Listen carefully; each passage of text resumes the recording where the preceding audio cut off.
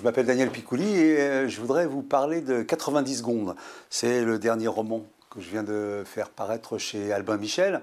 Alors 90 secondes, c'est le temps, tout simplement, qu'a mis la montagne Pelée le 8 mai 1902 pour tuer 30 000 personnes, raser la ville et couler tous les bateaux dans la rade.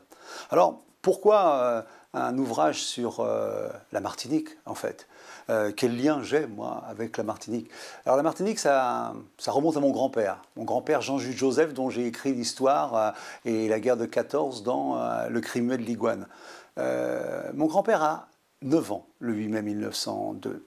C'est un gamin qui est né, a été élevé sur les hauteurs de, de, Trenel, à Fort-de-France, et il a passé euh, toute sa vie à regarder la mer, à rêver des bateaux, et à rêver d'un bateau, le plus beau bateau du monde, un trois-mâts, euh, le Belém.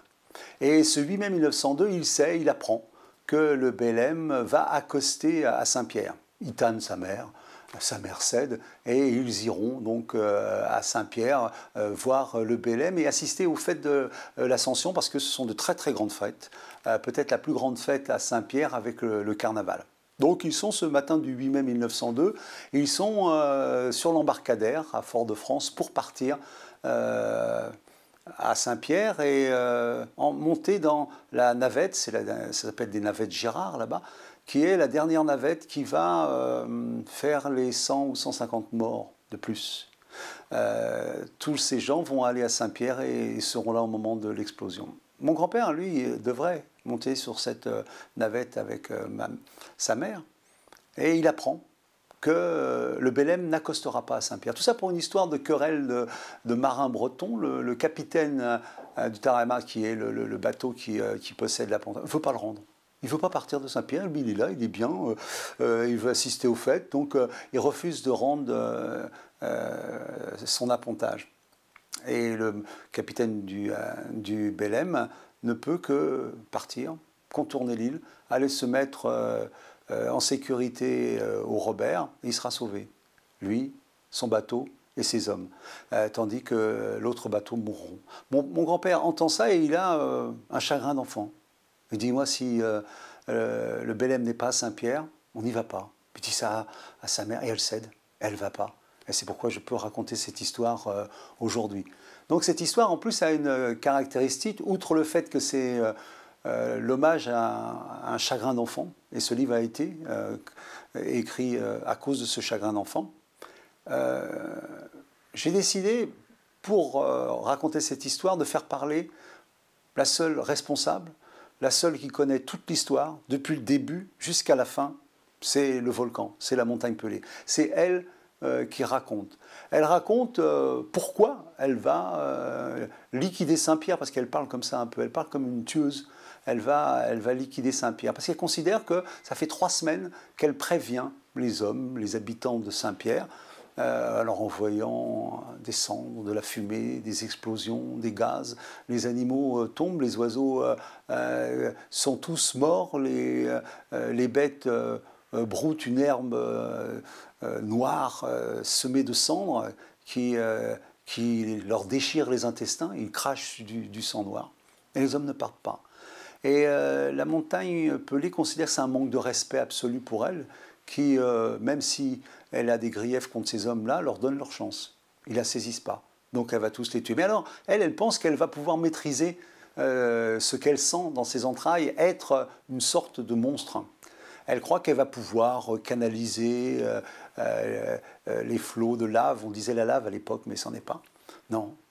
Au moment de l'explosion, elle va s'apercevoir quelle est la première victime car elle va enfanter un monstre, une nuée ardente. C'est la première fois qu'on constatait euh, ce phénomène. C'est une montagne de 50 mètres de haut, faite de pierres, de gaz euh, bouillant à 1000 degrés et euh, courant à 500 à l'heure.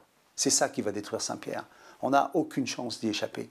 Et dans ce livre, j'essaie de montrer que la montagne pelée ne va pas simplement détruire Saint-Pierre, les hommes et les bateaux. Elle va, elle va éradiquer une merveille. Saint-Pierre est la plus belle ville des Caraïbes, la plus riche. Euh, c'est le premier port euh, euh, de Martinique. Elle est riche, elle est de façon obscène, elle est riche, parce que Saint-Pierre n'a aucune peur pour montrer sa débauche et son argent. Euh, les femmes euh, euh, qui sont les femmes de petite vie là-bas sont au contraire des espèces de déesses. Ce sont des femmes matadors qui traversent les rues couvertes d'or avec leurs protecteurs au bras. Il y a une provocation de la débauche et c'est pour ça que plus tard, beaucoup penseront que Saint-Pierre méritait. méritait. C'est-à-dire que Saint-Pierre est une Sodome. Euh, elle se dit le petit Paris des Antilles, euh, la Venise euh, tropicale. Non, pour les gens, elle est une Sodome, elle doit disparaître. Et donc, ce qui va disparaître, c'est une histoire historique. Toute cette histoire que je raconte est historique. Il y a un nombre considérable de personnages historiques. Et après, j'ai, moi, ajouté ces personnages romanesques qui permettent de donner un surcroît de réalité à l'histoire. Euh, d'aller dans les interstices, euh, là où les historiens ne peuvent pas aller, le romancier, lui, se régale. Ça, c'est euh, une des joies. Et donc, j'ai créé un certain nombre de personnages, dont des petits amoureux, qui sont Othello et Louise, Louise et, Othello, qui sont le dernier miracle de Saint-Pierre, et qui incarnent, avec leur amour, ce miracle que l'on peut constater si un jour euh, vous regardez des, images sur une catastrophe, un, tremblement de terre, vous allez découvrir tout à coup deux petites tasses en porcelaine sur une étagère. Elles ont résisté à ça. C'est incroyable, miraculeux. Ça résiste à n'importe quelle euh, euh, raison, mais ils sont là.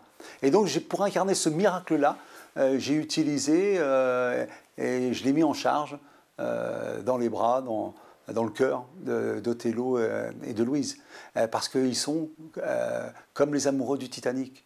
Moi, j'ai écrit un roman Titanic, un roman dont on connaît la fin. Il y a beaucoup d'histoires de ce type-là. Et pourtant, oh, pourtant, tout au long de l'histoire, quand on la regarde ou quand on la lit, on a envie de sauver quelqu'un. Parce qu'il y a en nous le désir de miracle. Pourquoi? Parce qu'on veut d'abord bien sûr se sauver soi si une catastrophe comme celle-là survenait et elles surviennent. C'est-à-dire que ce livre, euh, en parlant de Saint-Pierre en, mai 1802, nous parle, nous parle d'aujourd'hui, nous parle de ce risque euh, de catastrophe naturelle qui s'amplifie. La catastrophe naturelle est notre avenir. Donc il est intéressant de voir comment les populations ont réagi, euh, il y a maintenant plus de 100 ans, à des événements comme cela. Peut-être qu'il y a là un apprentissage, peut-être qu'il y a là des choses à tirer pour notre propre sécurité aujourd'hui parce que cet oubli de la nature, ce sentiment d'être puissant, d'avoir maîtrisé la nature, et d'ailleurs mon livre commence dans un jardin botanique, et il n'y a, pas pire qu'un jardin botanique pour que les hommes croient qu'ils maîtrisent la nature, parce que c'est beau, et parce que c'est eux qui l'ont construit. Et on va voir que euh, ça va être balayé. Donc ce livre aussi contient cette idée euh, qu'il y a un enseignement à trouver, à retrouver euh, dans le lien que l'on a avec la nature. On a tous vu les images euh, de tsunami où les gens voyaient les animaux monter sur les hauteurs et les regardaient au lieu de se dire mais pourquoi ils vont là? Il faudrait peut-être les suivre. Donc ce livre euh, raconte Saint-Pierre, fait revivre la beauté de Saint-Pierre, euh, le côté inexorable de cette catastrophe, parce que tout ça tient en 90 secondes, vous verrez. Et, ensuite peut-être que Saint-Pierre va nous faire réfléchir à nous aujourd'hui, où qu'on soit, face à la nature. Si d'aventure, voilà, ce roman permettait ça, je serais déjà très satisfait.